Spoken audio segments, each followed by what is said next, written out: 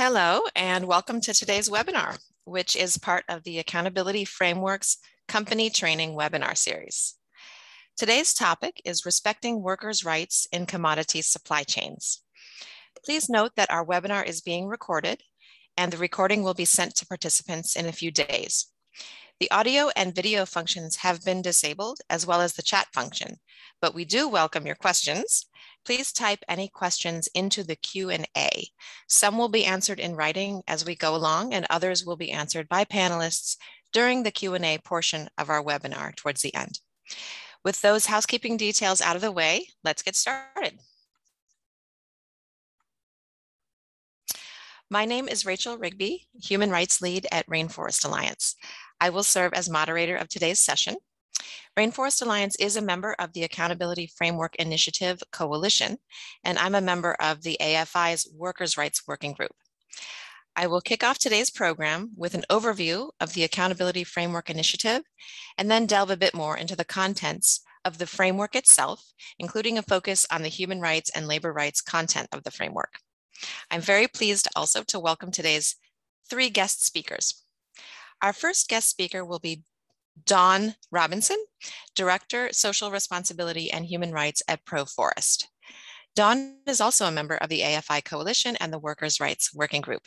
She will begin our session with some remarks about how companies can operationalize the kinds of good practice that are described in the accountability framework's principles and tools. She will focus specifically on using human rights due diligence within responsible sourcing programs. Secondly, we welcome Madeleine Eilert, Global Sustainable Sourcing Leader, Sugar and Coconut at Nestle. After Dawn's points, we will turn to Madeleine for a company perspective on human rights due diligence in the sugar supply chain, the challenges, how they tackle issues, and key learnings. And third, we are pleased to be joined by Art Prapha of Oxfam. He's the Senior Advisor Campaigns and Advocacy at Oxfam.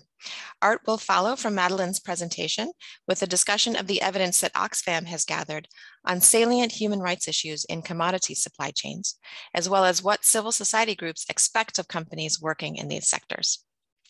And we also have with us Karen Steer, who is a member of the AFI Backbone team, which is how the Secretariat of the AFI is known.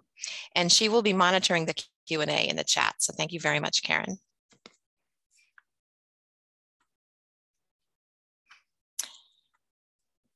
So let's jump into a brief overview of the Accountability Framework Initiative, starting with why it exists. The AFI came about from a growing realization that many companies either weren't making commitments around certain key sustainability issues, most notably deforestation, or for those that were making commitments, the commitments lacked accountability or implementation measures.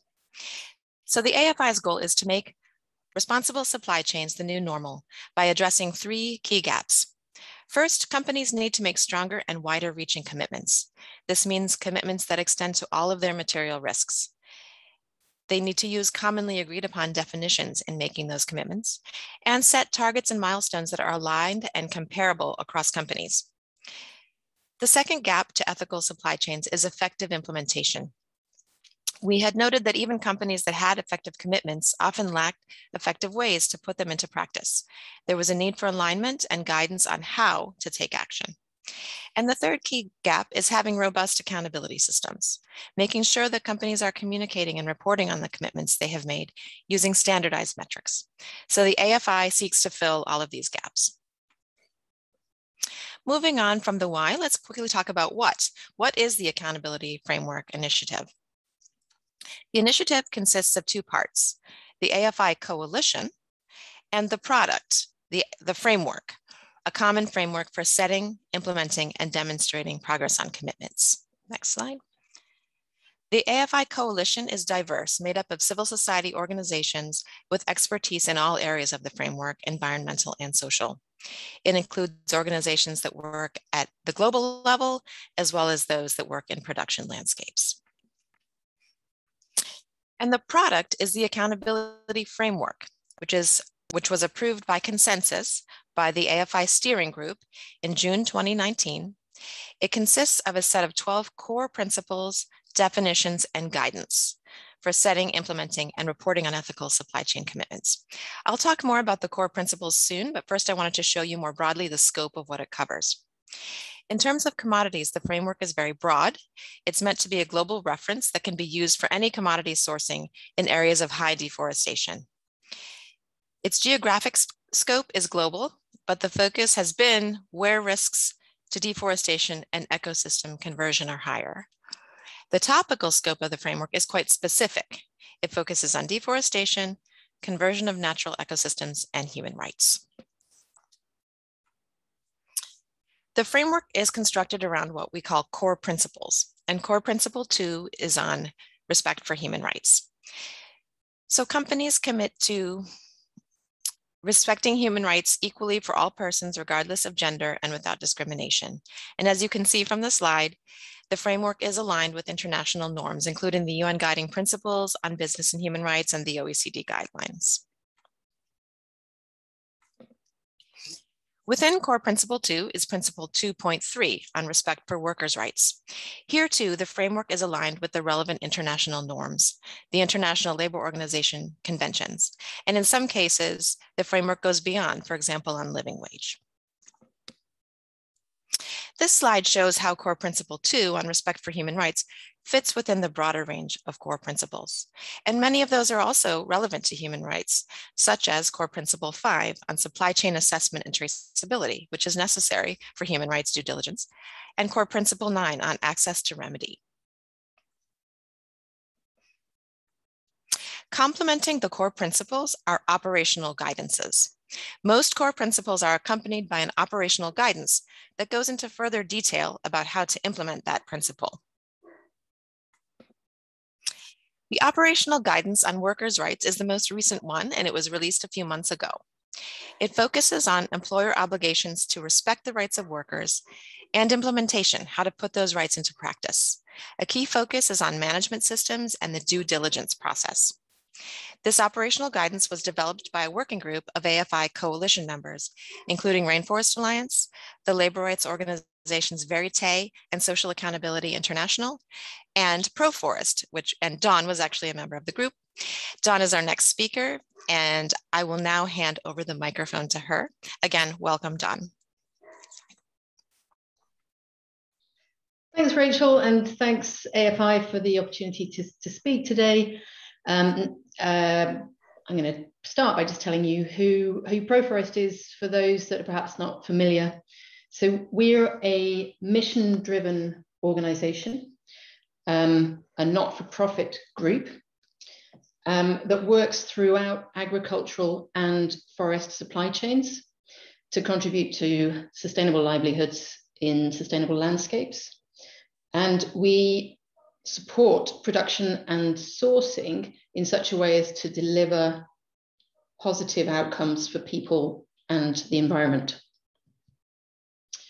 We do that via three principal mechanisms. We support companies directly to deliver on their sustainability commitments, um, understanding and taking action. We support collaborative initiatives, whether that's a global uh, or sector specific or a site, uh, a place-based initiative like a landscape initiative. Um, and throughout, we provide knowledge and capacity um, via developing and adapting tools and training and um, providing capacity building. We work in a global context. We have offices in eight countries, and importantly, we work very much in partnership with local and global experts on particular uh, on specific topics. So as has been said, I'm going to talk particularly about the value that we see in using a human rights due diligence approach to respect workers' rights in agricultural commodity supply chains um, and indeed to respect all human rights. And we value this not because of the, the driver that is a lot of conversations around legislation requesting or expecting companies to report on human rights due diligence, but because it genuinely is a really robust framework that is practical um, and fits very well with companies' management systems. So what's on screen is responsible business conduct as defined by the, the UN guiding principles for business and human rights. Um, and what it shows is, um, is that human rights due diligence is at the core of that, but it's very much needs to be supported on either side by effective policy commitments and processes to enable remediation of um, negative impacts um, to the people that are affected. So it's valuable because it's an ongoing management process. Exactly what you do as a company will depend on the context in which you work, where you are in the supply chain, the size of your business. Um, but it, it makes sense in, indeed for working across both environmental and human rights aspects of respons responsible sourcing and production, something that both AFI and Proforest have in common. Um, and so it needs to start with identification of where the issues are. Um, and it recognizing that to do this, you need to have traceability in order to understand why you're buying from. So you can see a reference there to traceability being an enabling element for good practice. So that kind of principle of needing to understand where you're buying from is the same whether you are a sugarcane mill buying from a network of 3,000 smallholder cane growers or a manufacturing brand buying indirectly from 1,200 palm oil mills globally. Uh, the more you know about where you buy from, the more ability you have to understand the risks and to take action to address them. Um, and uh, AFI has guidance that relates to several of these steps within the core principles that were that were referenced, such as um, information on what it means to have a robust policy commitment in core principle two, and several of the aspects of human rights due diligence, um, such as uh, addressing and embedding is covered across kind of um, three or four of the core principles, six, six to nine really. Um, so it's, but it's important that the risk assessment informs as much as possible about the nature of the human rights issues and abuses that may be happening um, and the production aspects that they're associated with and the types of people affected. Um, based on that, you can then build more effective mechanisms to address them. And in fact, most of my talk's going to focus on what it means to address um, those issues. So a couple of, uh, well, three, in fact, key elements to have in mind when implementing human rights due diligence and that is that this is about putting risk to people. So if you're interested particularly in workers' rights, risk to workers at the heart of decision making. That's often very similar to materiality, but not always exactly the same. Um, meaningful stakeholder engagement throughout, not just at risk assessment, where we tend to think of it as being particularly um, valuable, but in helping to design the strategies that need uh, action to take place, and also in helping to monitor and track whether those are effective. And finally, embedding action in a company's processes and across departments, not treating this as some sort of separate work stream that belongs only to people with a human rights title in their, in their job description, um, but embedding it in everything that's already being done. So uh, the heart of what I want to mention is the importance of developing an action plan. Um, we talked about how it must respond to the, to the risk found, it, but it's based on risk to people. Actions, timelines, and KPIs are important in order to embed and align people um, around that action plan. And importantly, remediation needs to be part of that. I think we often see sustainability leads, in particularly in downstream and midstream companies, uh, a little overwhelmed in the face of risk assessment information about how many different issues are raised and how widespread they are. It can feel complicated. So the value we see on developing an action plan is that you spell out for your internal team and external audiences where you are um, starting your, your journey. There's an understanding, and it's written in the UNGPs, that you can't do everything all at the same time, but you need to be clear about why you're starting um, where you are and how you will gradually um, make a difference over time. And being clear about how you'll be using commercial leverage and broader business leverage and joint leverage with others should be part of that. And importantly, thinking about already how you're going to measure the impact of the actions that you're taking on the affected people, even if you're quite a long way downstream. So one way that we improve this is actually part of our theory of change, is the, is the importance of working within and beyond the supply chain. And it's a really good way of framing an action plan to address human rights issues, to address workers' rights issues, for example, specifically.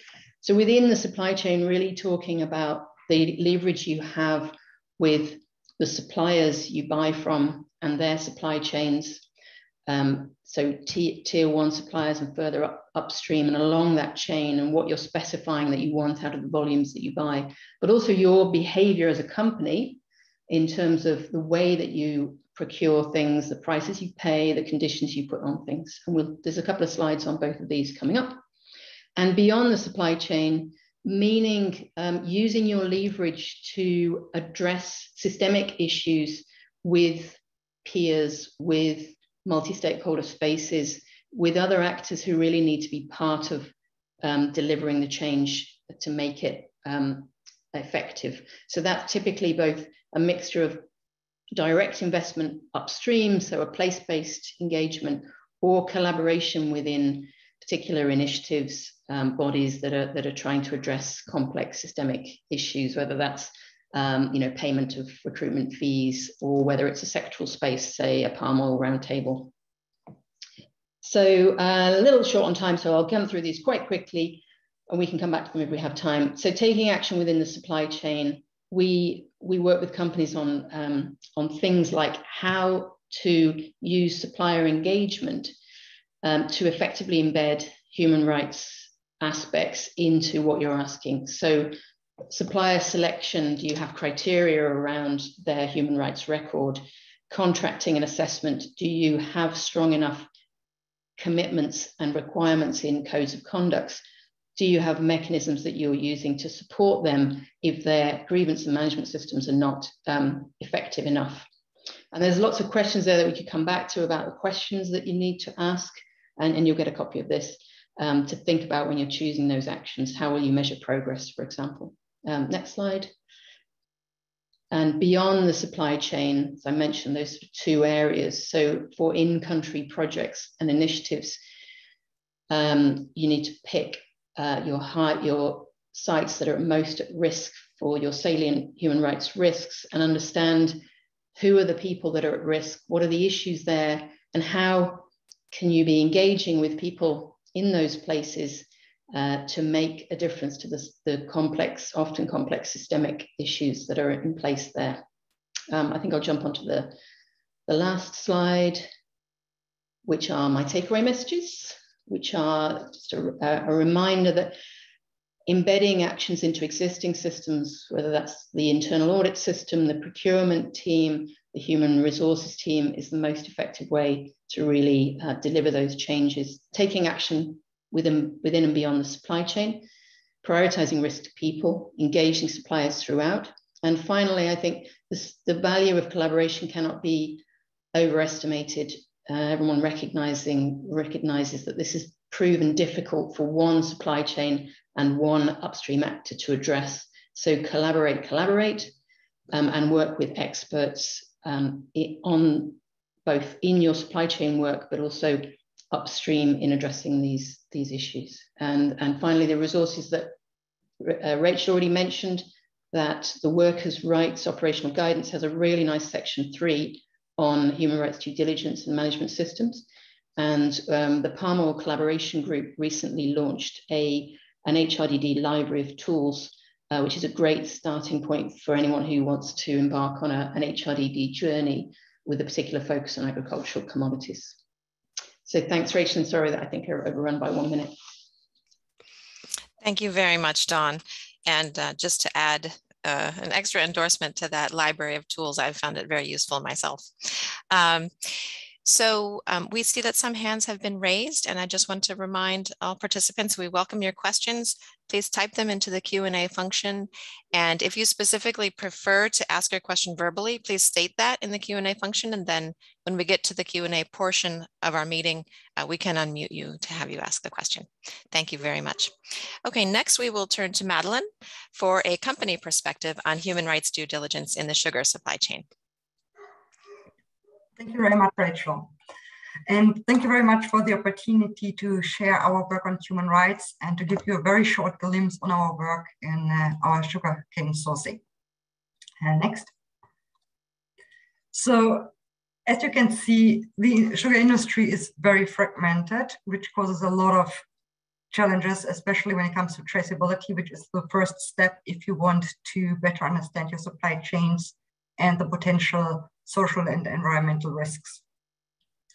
This is, uh, I mean, this applies to every agricultural commodity and isn't specific to sugar, but it causes a lot of challenges in sugar, especially given the huge number of countries you see it's produced in 110 countries, which is a lot of work in tracing materials back.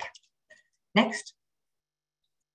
So a very short glimpse on our um, Nestle human rights journey. So our journey started back in 2008 when we signed a collaboration with the Danish Institute for Human Rights, um, which uh, helped us to conduct several human rights impact assessments, mainly in our cocoa, coffee, palm, and dairy supply chains.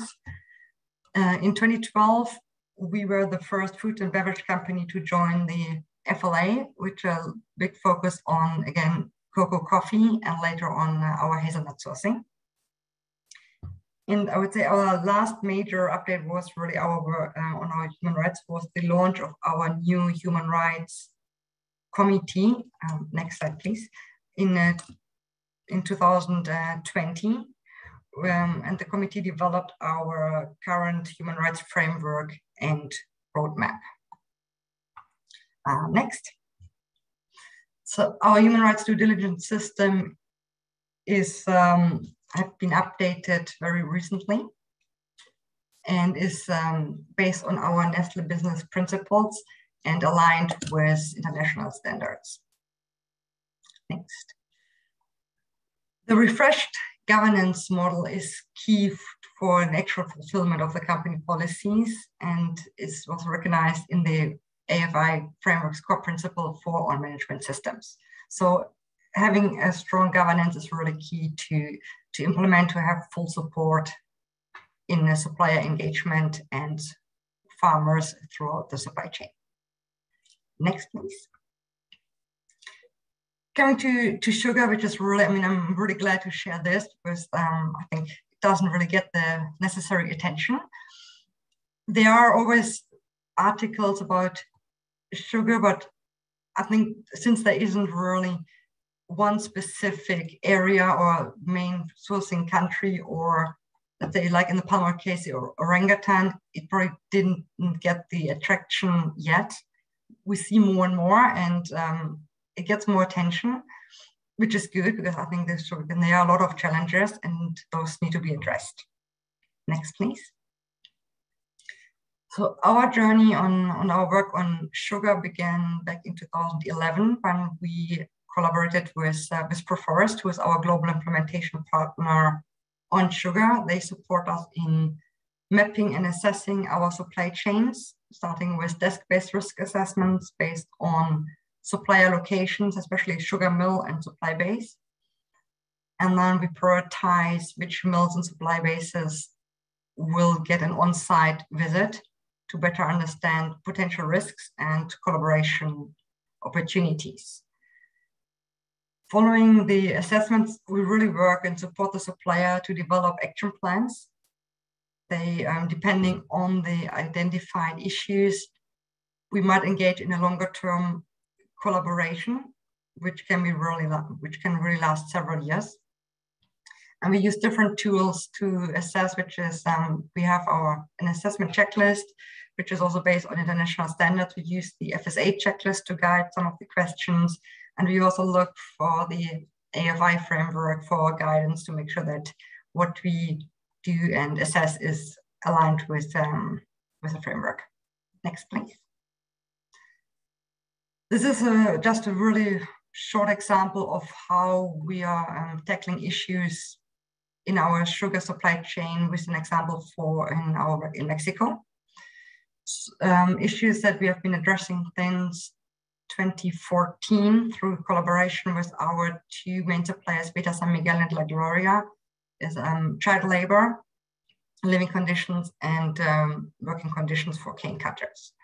So um, some of the actions was really uh, to develop a human rights policy, to implement it, to establish age checks, ID cards for, for workers, and to raise more awareness among farmers and communities about child labor and find uh, try to find alternatives like setting up local schools. Living in working conditions is um, it's a really big challenge in sugarcane sector for um, because there are a lot of migrant workers, and one of the key activities was to to upgrade shelters so that they have um, proper living conditions, installing sufficient and appropriate sanitation showers and toilets, training on how to, to maintain the shelters. And uh, we developed a protocol to guide the refurbishment of, uh, of shelters for migrant workers. And then, yeah, working conditions, it's about provision of clean drinking water uh, during the harvest season, ensuring that they have access to, um, to water and hygiene services, appropriate um, personal protective equipment, first aid kits, and so on and so forth. So, and those is really done by Proforest, who's really a key driver of the work together with the suppliers, because I mean, we, we can't do it alone. And we also have beyond supply chains industry collaborations where we work with peer companies, industry, and um, to try to develop a, a wider national program to address those challenges. Next, please. And yeah, key, key learnings is really that addressing human rights is a journey. And as Dawn said earlier, you have to start somewhere. We can't tackle everything at the same time. But the most important is to get started. Collaboration is key. No one can do it alone. It requires a lot of commitment from, from everyone in the supply chain. And this is really all sectors needs to be part of the journey. And this includes investors, banks, NGOs, farmers, associations, and um, yeah, workers. So really from A to Z, everyone needs to be part of the journey because only together we will solve and address the issues.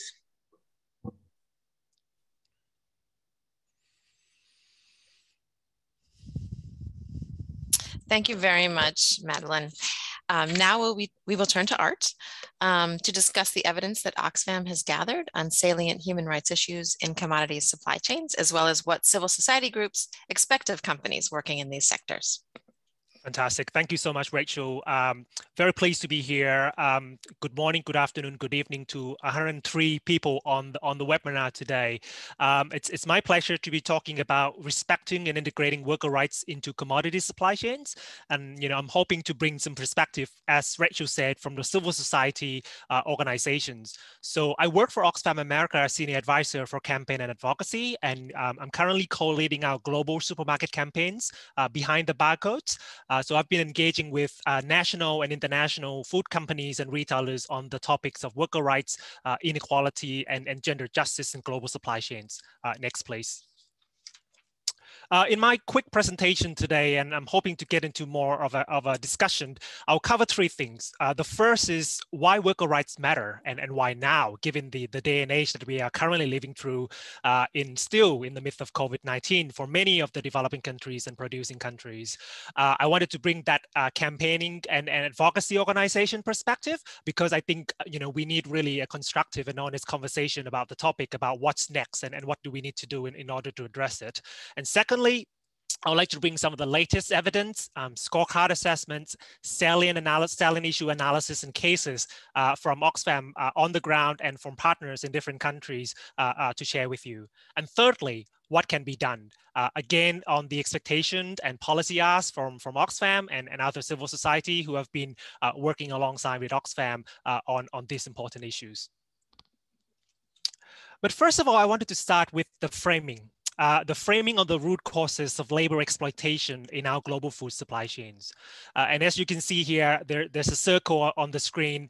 On the one hand, you have the increasing power right, of food companies and supermarkets, uh, you know, by means of market concentrations, by the ability to really set the terms of trade and, and the purchasing practices throughout the supply chains. And that's almost create the demand uh, for labor exploitation in, in global supply chains.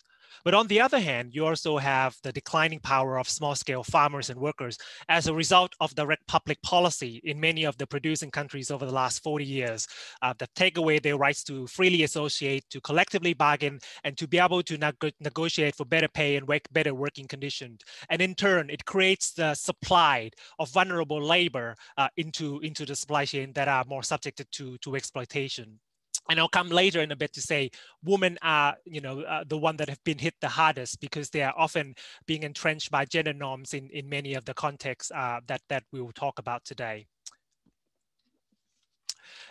there's inequality of power on the one hand, and then there's inequality of value uh, across some of the commodities in our global supply chains on the other. And as you can see on the graph here, we work on the latest research with our research partner, Le BASIC, uh, to look at the percentage of values accrued to workers and farmers across a number of commodities uh, as a percentage of end consumer price. Uh, so whatever consumer price is paying, these are the percentage that actually goes to workers and farmers. For wine, tea, and shrimp, you can see that the percentage are extremely low. For wine, it's below 1.5% in terms of the share of workers. Uh, for tea is between 0.7 to 3%. For shrimp, it's about below 7 0.75% across the board. And for rice and coffee, you can see really high um, trends of fluctuation in terms of the end consumer price share uh, for farmers and workers working in those industry. And I think this still continues to be problematic in terms of the un, you know un, un, unfair share of value across across a number of commodities that in turn uh, uh, led to to more labor exploitation in the global supply chain. So why now? Um, as I mentioned before, you know, many of the developing and producing countries are still very much uh, uh, struggling, and I mean, including the U.S. and the UK. New variances are, are emerging again, but market disruption is real, and it's already here over the past 22 months. You know, we, you know, I don't have to repeat some of these headlines to you, but a couple of trends that are, are really significant, right? The first is there have been some momentum around the movement um, along the mandatory human rights due diligence legislation. That's already happening in Europe. Um, in the US, there have been some strong discussion about how do we empower the effectiveness of US legislative tools uh, to ban goods that are linked to forced labor uh, and labor rights violation into the US markets. Uh, there have been more calls from consumers uh, and investor uh, for more transparency and, and, supply chain transparency uh, for companies to be more accountable.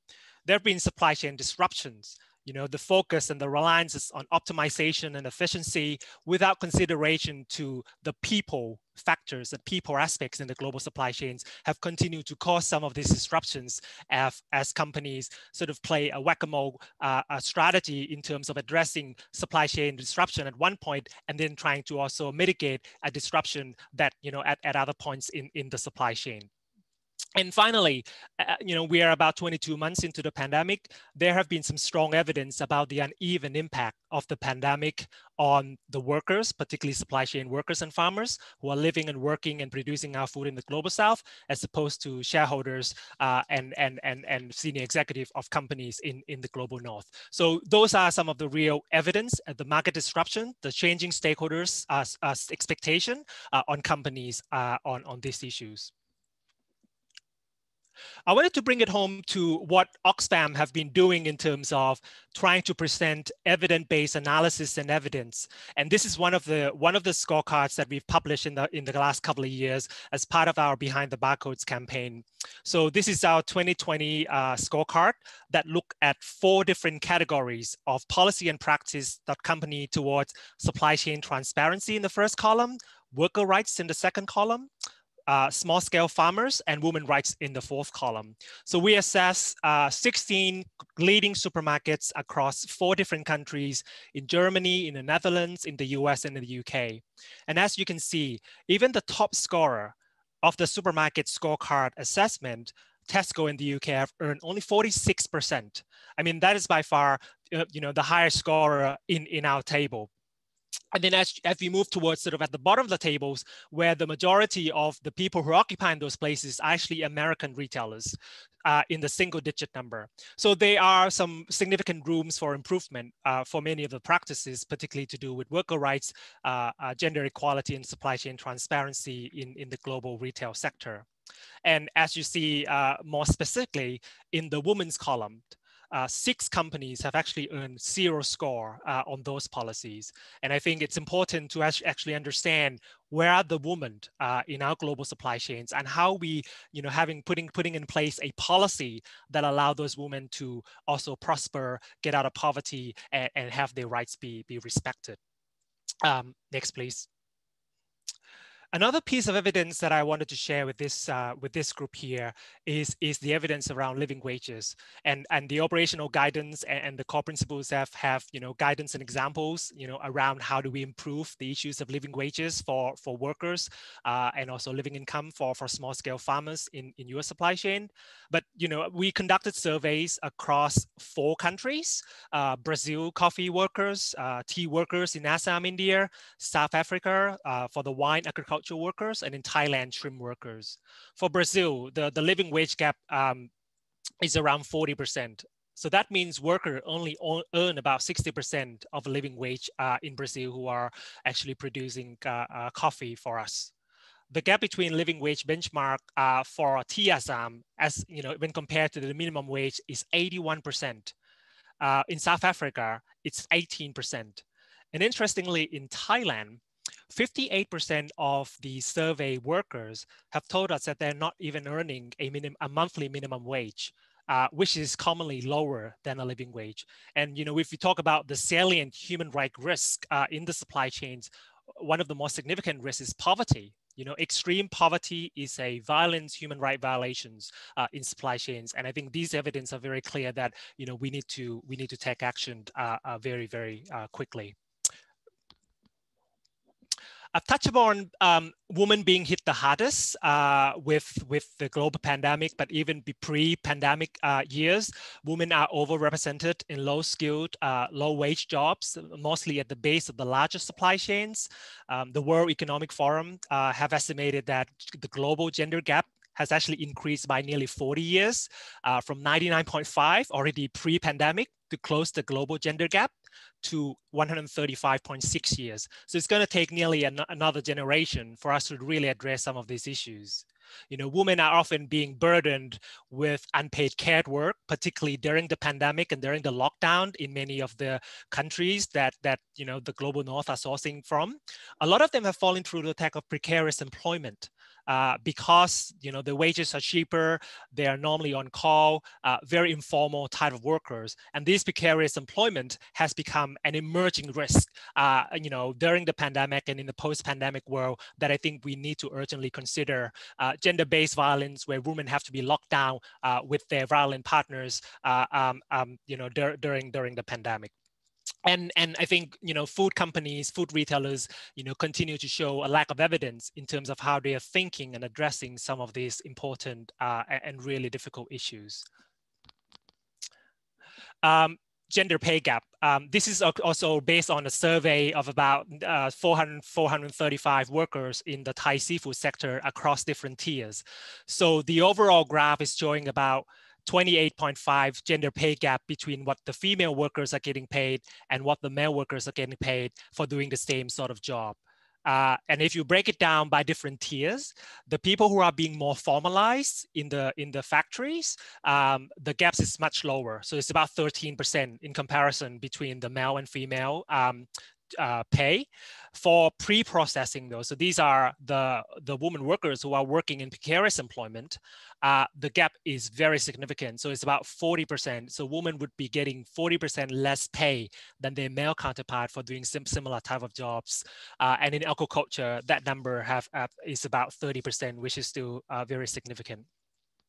And just to conclude, uh, what can be done? The roadmap towards empowering workers in global supply chains, so I've, shared with you, um, you know, earlier on the, the sort of the circle that show the root causes.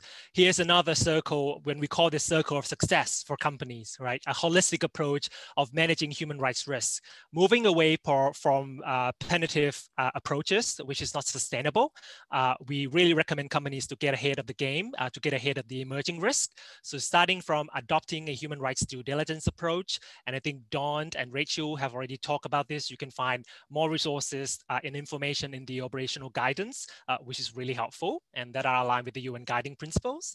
But then preventing human rights harm in supply chains are sort of very important. So knowing show risk uh, of your human rights, making sure that workers have platforms and grievance mechanisms to be able to voice their concern if they have been harmed by activities in their in their supply chains. And finally, achieving positive social impact, um, you know, making sure that workers and farmers are being paid living wages and living income, uh, and again, repeating this, this cycle uh, in, in a very systemic manner. And finally, in more details, and you can read more about these uh, recommendations in our report, but ending violations of rights uh, is, is, is a major responsibility for, for business starting from knowing and showing the impacts uh, of your activities for your supply chain workers. Uh, again, human rights due diligence, uh, knowing where the women are in your supply chain, having gender disaggregated data, uh, publish an estimate uh, labor share value in high risk chains. So you are knowing that, you know, the, whether the workers and farmers are getting their fair share in terms of their inputs and contribution. Um, secondly, act in your own supply chain again, revising, updating your supply chain policies that are aligned uh, with the guidance, with the ILO conventions and national laws, committing to paying living wages, uh, reviewing your buyer incentive policy, and, and, and really importantly, guarantee regular meaningful engagement with trade unions and freedom of association for, for your workers.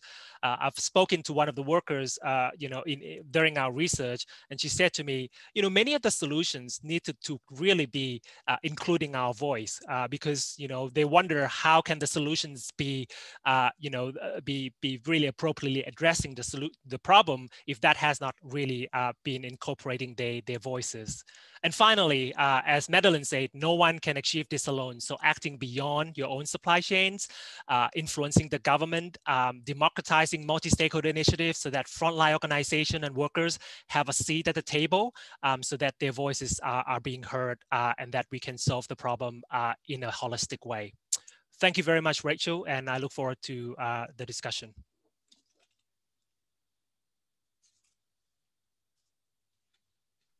Thank you, Art. Um, now I would like to turn to kick off our question and answer uh, period. And Karen, I'd like to ask you to read aloud questions that have come in um, in the Q&A function. Great, thank you, Rachel. And I just wanted to thank all the panelists and you, Rachel, for moderating. It's been it's been a really good um, set of presentations so far. And we do have quite a few questions that have come in want to encourage others if you do have questions to um, type them in the q&a and we can read them uh, we had in the beginning a few questions on will this um, webinar be shared and will the resources that were referenced by some of the panelists be shared so i just wanted to let you know that yes in the next few days you will receive a recording of this webinar and in that email that goes to you we will also include links to the resources that uh, Dawn, Rachel, and Art um, presented. So in terms of other questions, the first one I have here is, among all salient human rights issues, how do you identify one being more salient than the other? And I thought I turned to Dawn first to, to provide a response to that, and then others can chime in afterwards.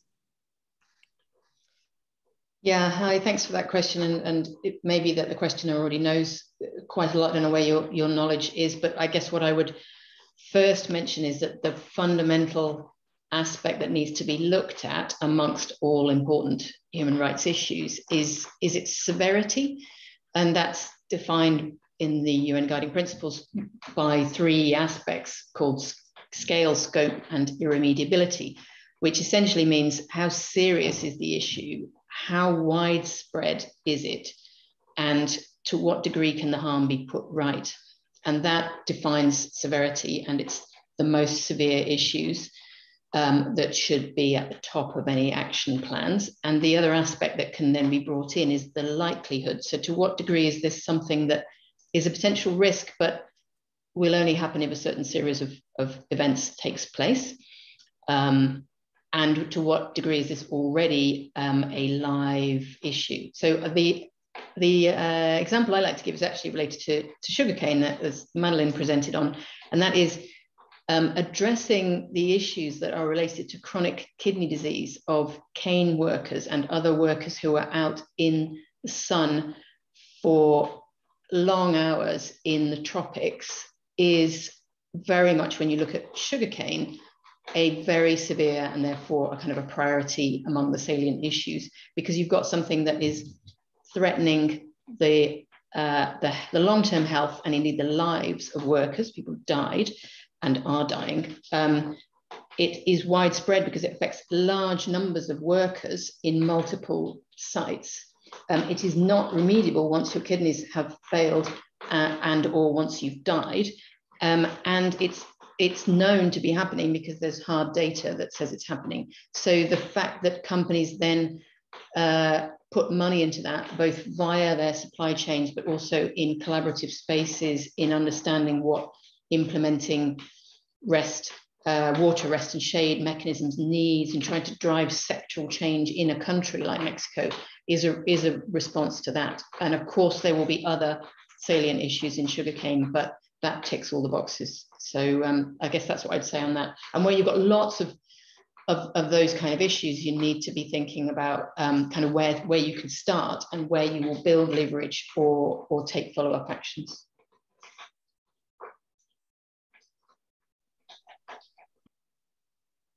Great, thank you, Dawn.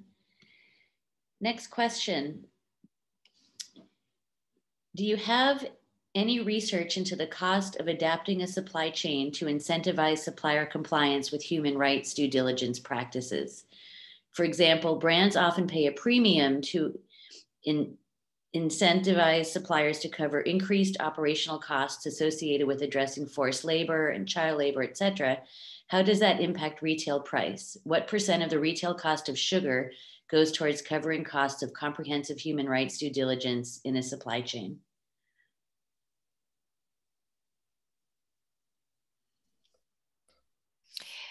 If there is a particular panelist who would like to address that question, please um, unmute yourself. Otherwise, I might ask Madeleine to offer a few thoughts since this is a sugar specific question.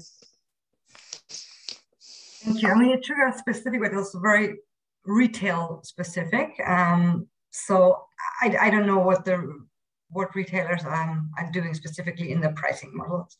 I can just say that it's really up to the companies to really to see how they address the issues, and this can have many different forms, like we do with uh, with projects on the ground to to co-sponsor development and renovation of shelters, uh, training, and so on and so forth.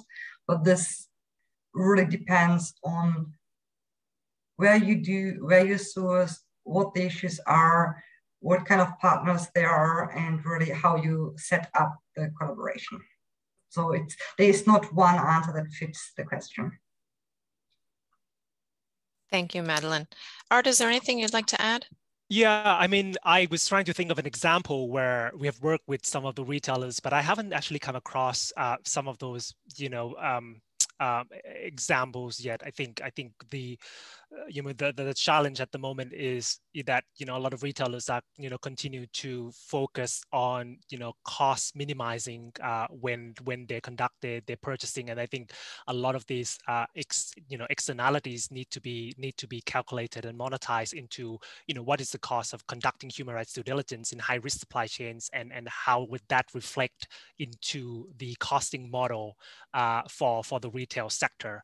So far, I have not seen um, you know know a, a sort of progressive example, but I think that would be the direction of travel that many of the retailers and food companies need to take. Thank you. Dawn, did you want to add anything there? Uh, thanks, Rachel. I, I merely want to say I, I don't know of, of that research, but I would be very interested in seeing it. I think that conversation about how is the cost sharing of the changes that are desired up, upstream being uh, supported along the supply chain. Um, what does that look like in practice? Um, what does it mean to support that? And you know, some of the people I speak with in some of the, the more forward-thinking companies are recognizing that that's something that they need to be thinking about. Really, is it's not. It goes, you know, this this piece about uh, acting within the supply chain. It's not just about cascading requirements and expectations. It's about reflecting on what your own practices um, translate um, like into uh, into support for that. Um, and support could be, yeah, capacity building or co-developing something or funding something. But I think looking at all of that aspect of what needs to change is where some of the more uh, impact focused companies are are going now, whether that's on living wage or living income or on some of these uh, health and safety aspects. Thank you. Karen, do we have other questions in the Q&A? Yes, we do. Uh, next one is, is there an index that can be developed for a company to track their human rights initiatives?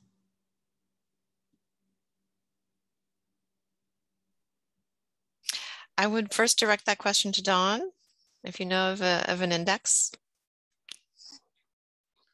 Yeah, I don't know whether the person who, who asked it wants to unmute and, and ask, I'm not quite sure what you might have in mind by an index, but I, I think um, what's important is that as a, as a company, whether you are, um, yeah, like a, a, um, a, processing mill for some commodities or whether you're a big brand, um, is that you're clear what what impacts you're trying to address on the ground and how you think your action will um, will deliver that. And that you have mechanisms um, your sort of your own kpis that are monitoring both the processes that you're trying to influence um, so you know have you managed to get your suppliers to have their policy commitments on human rights and, and due diligence that, that we heard some examples on? Are they putting in place effective grievance mechanisms? But that you're also um, looking at how to track um, and how to kind of capture uh, the impact on those people. And Art talked about, you know, hearing the voices of workers and so on. So it depends where your, your scale is. And there's some interesting work, work being done um, by organisations such as Shift in the in the kind of human rights space on what um, what impact uh, indicators might look like. So I think each company needs to have its own sense of what it's trying to do and how it measures whether that's um, helping, but there's lots of collaborative spaces, whether they're um, commodity specific or topic specific, where you'll find allies looking for how do we do that effectively. Um, so I don't think anyone needs to do it on their own. Can I come in quickly, Rachel? Um, yeah, I totally agree with what has said. Um, I think, you know, one can also look at existing resources um, on in terms of the assessment as a scorecard that civil society organizations have already done and published. So not just Oxfam scorecard, but KnowTheChain, um, Corporate Human Rights Benchmark uh, also have conducted really much looking at what the global benchmarks is asking companies to do, the UN guiding principles on business and human rights, the ILO conventions, the OECD guidance on multinational supply chains. And then that's kind of give you a good feedback, initial indications of where you are currently in terms of the policy and practice. And I think you know that would also be helpful in terms of zooming into the you know the issues and the salient you know issues that you wanted to focus on, and then that will help you to set your strategy, your vision, uh, your action plan. But again, um, I think the very important ingredient is the consultation with rights holder and, and and and organizations that are working on the ground because I think that would give you some very rich feedback uh, in terms of whether those therein uh, issues are in fact uh, very very uniquely uh, to to your to your supply chain. Thank you. And well, while we have you here, Art, um, there was a question addressed to you of uh, related. How did Oxfam come up with with the scorecard that you used? Was there a survey to consumers or workers? Uh, so we base it on uh, a number of um, authoritative uh, documents like as I've mentioned before, the global benchmark um, across uh, the various topics that we have, but we also consulted, and that's how we've sort of developed uh, the 93 indicators across the four categories, uh, for, you know, ranging from lower bar to higher bar. So the lower bar would be the policy commitments, but the higher bar would be looking for evidence of implementation and practice, uh, you know, amongst those those key indicators.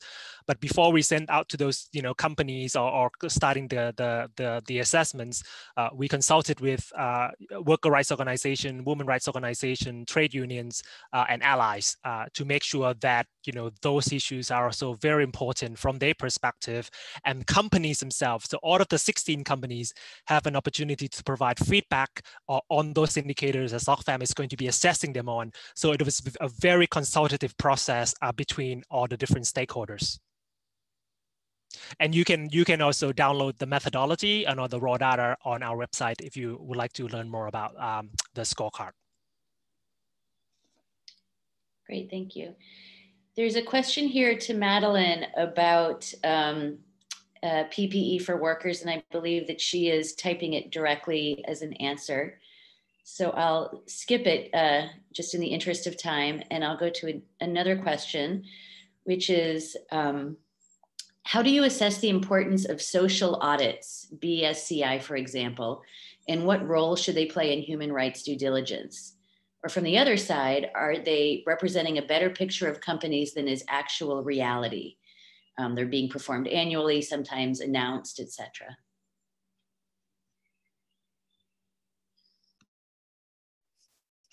Probably all of the panelists have some perspective on that issue. Um, why don't we start with you, Dawn, and then give the others to a chance to weigh in as well. Thanks. You may also have something to say about this, Rachel, as an organisation that that also uh, is very active in in certification spaces. I think. Um, let me see who um, who. Uh, I was going to say who wrote this. I've lost. I've lost it. But I think it's a very live. It's a very live issue. It's a really important one. Um, I think uh, we were just discussing it today internally um, to give you a sense of how, how live it is um, it, where I work. And I think there's, we have valued and we work very closely with a lot of voluntary standard schemes, um, certification schemes and round tables that no doubt have shifted the landscape and, and really moved forward the topic of sustainability for some commodities and some sectors, and I think they will continue to play a really strong role. Some of them have already started to look at how to embed um, expectations for the operations that are certified to have human rights due diligence. And many of them already have very strong standards that, in a way, respond to the risks that they know exist in that in that commodity or in that you know in that kind of farm context or or in that plantation. So they're often very strong in their language on um, some of the internationally recognized workers' rights, for example, and um, land rights and so on. But there's no doubting that they have come under scrutiny and, in some cases, sort of public criticism for whether or not they can deliver in terms of assurance on the ground, because some of the issues that we need looking at are very difficult to uncover, even in an unannounced audit um, and such as those things like forced labor are very difficult to, um, that are deliberately being hidden by almost everyone involved. So I, I don't have an easy answer for you, but I think they, they need to continue to play a role. Um, but we definitely, there's some really interesting initiatives that lots of um, people are involved in how to strengthen the way that they might be better at detecting some of the human rights issues. Um, and organizations like ISEAL, cross-cutting platform for many of them, um, is doing some really interesting work there as well.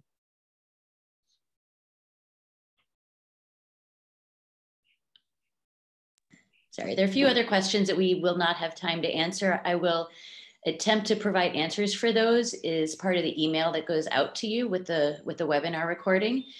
Um, wanted to, we're pretty much out of time, so I just wanted to give a huge thank you to all the panelists um, for this wonderful conversation, uh, to the questions that came in.